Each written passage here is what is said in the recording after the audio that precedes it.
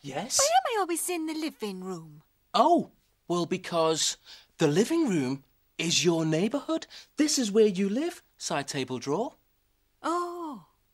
Oh, right. You know, I can tell I'm really going to need your help today, trying to work out where Blue wants to hide. Will you help me? You will? Great. To play Blue's Clues, we've got to find, uh... Paw prints. Oh, right. Because that's our first Clue. a clue. A clue. Then we put it in our... Because the Blue's Clues. Blue's Clues. We gotta find another paw print. That's the second clue. We put it in a note because the Blue's Clues. We gotta find the last paw print. That's the third clue. We put it in a note because the Blue's Clues, Blue's Clues. You know what to do.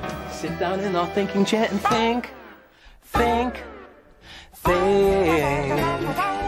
Because when we use our minds and take a step at a time, we can do anything that we wanna do. Yeah.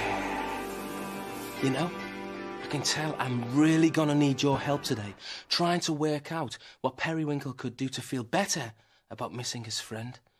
You will help, won't you? You will? Great. Okay, so which way did Blue go? That way. That way. Thanks. Come on.